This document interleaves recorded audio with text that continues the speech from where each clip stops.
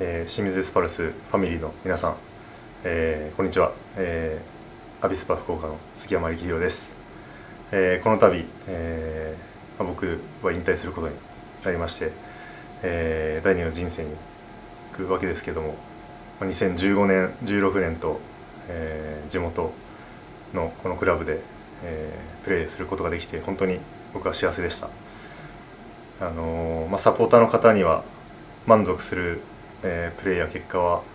えー、出せなかったかもしれませんが、えー、J2 降格してそこから1年で J1 に昇格できたことは、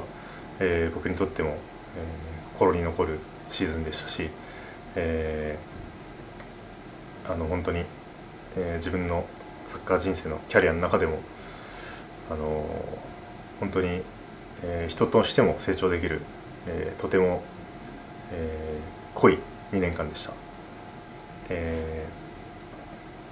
まあ、今シーズン、あの清水エスパルスはあの悔しいシーズンになったと思うんですけど、あのまた、えー、2023シーズンは、えー、1年で必ず、えー、J1 に戻ってこれることを僕は信じてますし、えー、またあの2016シーズンの時のように、えー、皆さんが一つになってえー、選手を全力で、えー、サポートしてもらえれば必ず選手もそれに応えてくれると思ってますので、えー、皆さん変わらず、えー、2023シーズンも、